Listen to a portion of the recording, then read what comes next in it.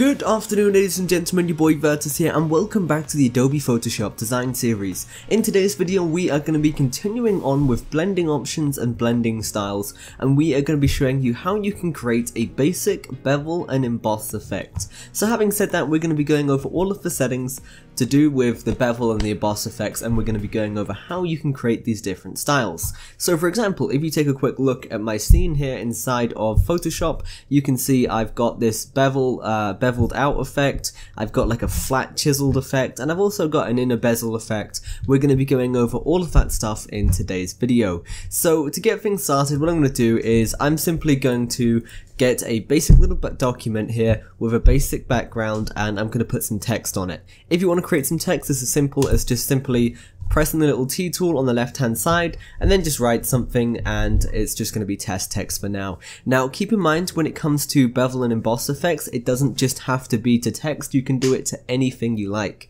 So let's say you've got a pick another picture or another layer you want to do it to you can do it to anything but for now I'm just going to be doing it to text and the process is exactly the same as well. So if you do want to do it just go ahead and right click on your layer and then from there go up to blending options.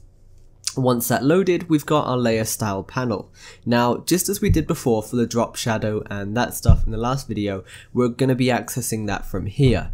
And that's going to be from the bevel and emboss section here. And then we've also got a contouring section which we'll be going over as well. Um, but for now let's just go ahead and select bevel and emboss. And you can see as soon as I have selected that you can see it automatically applies a basic bevel and emboss effect. So you can see here it's actually given itself a little bit of depth and it's actually started to come out from the scene.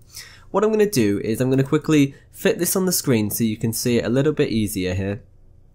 And you can see here it's now affected by light and it's got that extra depth.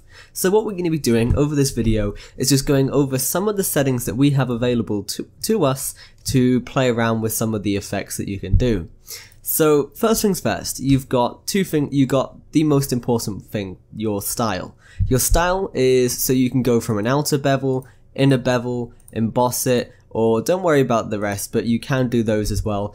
Um, but for now, you've got outer bevel, which is beveling it on the outside of your layer, inner bevel, which is beveling it on the inside, so that's contained within the layer, and then lastly, you've also got your emboss as well, um, which is something slightly different, um, but we'll be going over that later on. And then for technique, underneath that, so I'm just going to keep inner bevel selected for now. And then technique, we've got a couple of other options. We've got smooth, so it's quite soft like it is here.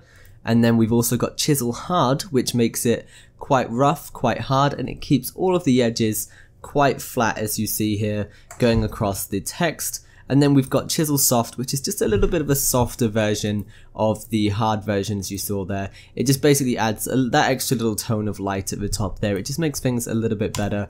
Um, but for now, I'm just going to go ahead and work with the smooth one. Moving on from there, we have got the depth. The depth is pretty much how tall you are going to have your effects. So do you want how much you want it to pop out from the scene basically. So if you have quite a low depth, it's going to be hard to see and it's just not going to have that much light hitting it. Whereas if I turn the depth all the way up, you can see there is definitely a bit of depth and it's accepting a lot of light on there as well. And then you've also, underneath that, you've got your direction up and down, which pretty much allows you to control which way this is all cut. So do you want it to be cut upwards or downwards? It's entirely up to you. For now, I'm just going to leave it at up from here, moving on, we've now got the size thing, and this is where it does start to get a little bit more confusing as we've got the depth, which is essentially similar to size in the sense that you can try to control the size of the depth. Um, size does something slightly else, however. Size is pretty much how big you want your uh, how big you want your bevel to be in terms of space inside of your layer. So for example, depth pretty much controls the the thickness and then the size controls how much space it can actually take up. Now if you increase this way too much here you can see things do get a little bit distorted and it just doesn't look right. So maybe just limit yourself in terms of size Um, for me, I'm going to go for something like this, which is quite nice. And then from there, you've also got your soften just beneath that. And that is pretty much just going to fade this all a little bit for you and make it really, really nice on the eye. So what you've got to do here with all of this is you've just got to play around with all the different settings and get the right balance between all of these to get the look and the style that you are after. So one other thing that I'm going to quickly do, just so you can see this bevel stuff a little bit easier, is I'm actually going to go up to blending options and I'm going to turn down my fill opacity so you can't see the black anymore and literally the only thing you can see is the light and the shadows from your bevel and emboss effect. And if I do go and zoom out, you can see this actually looks quite nice. So I'm going to go back into there and now I'm going to start working on some of the light settings, the angles and that good stuff. So once again, going into blending options, what I'm going to do is I'm going to go in here again.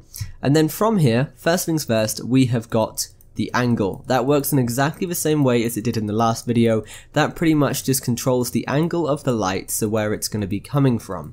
So let's say I want it to come from the top right, I can do so using the little angle tool. Um, and then from there, it's pretty much the light's going to be heading this way so it's going to be heading towards the top right. So you can see the shadow, not the shadow, but the light on the top right, and then after that you've got the shadow on the up on the other side. You'll get it, just play around with it, it's just a direction for the light. Now beneath that we've also got the altitude. The altitude is pretty much the uh, the height of the light. So is it going to be all the way up in the sky? Is it going to be quite low? And you can control that using the little number down here. So you can see I can actually move it not just around the edge of the circle, but I can also move it within the circle as well, like this. So taking a look at that, once again, if you have it down quite low, you're not really going to get any light. If you have it quite high up, you are going to get some. Um, so it's just a matter of playing around with these settings and getting the look and the style that you're after. Going down, moving on to some of the last settings, you've also got your highlight mode as well. Your highlight mode is just a blending mode. We will be going over those later on in the tutorial series, but the most important bit that you've got here is your light color. So your highlight is basically your color. So you can see we've got this white edge going all around our text here. That's pretty much exactly what that is. So if I was to give it a green highlight, you can see I can do that and it gives it this slight green tint where the light is. Now, if you're going for something natural, I wouldn't use something so bright in terms of color, I would maybe put it more towards the whites to make it more natural.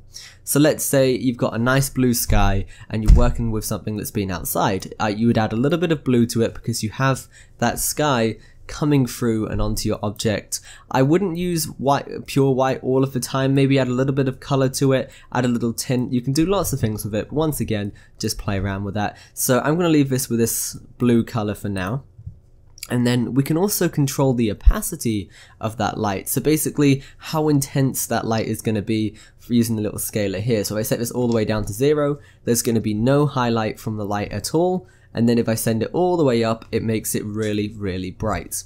So for now, I'm just going to leave this at 50 exactly where it was before, as that's quite a nice little number and it just works well on our text here, which is quite nice. Then you've also got your shadow, uh, shadow mode.